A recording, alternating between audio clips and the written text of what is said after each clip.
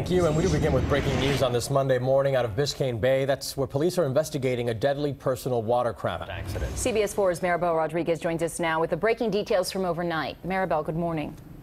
Good morning. We're told it was just after, after 11 o'clock last night when rescue crews got the call of a damaged watercraft just off the Julia Tuttle.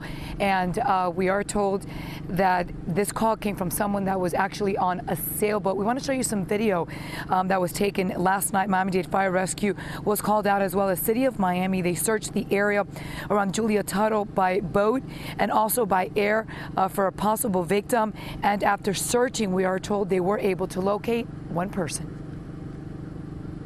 While the city of Miami was responding, we understand that Miami-Dade Fireboat was on the scene and they retrieved one body, an adult male in their 30s, from the water. Now, Miami Fire Rescue conducted a search along the waters of Biscayne Bay on the north and the south side of Julia Tuttle Causeway, looking for a possible second victim. And according to City of Miami, no one else was found. However, we are told that Miami-Dade police did check on the well-being of a person, a possible person they say of interest. They were checking on that person's well-being and to make sure that person was uh, was accounted for. So again, we are told the search has been wrapped up.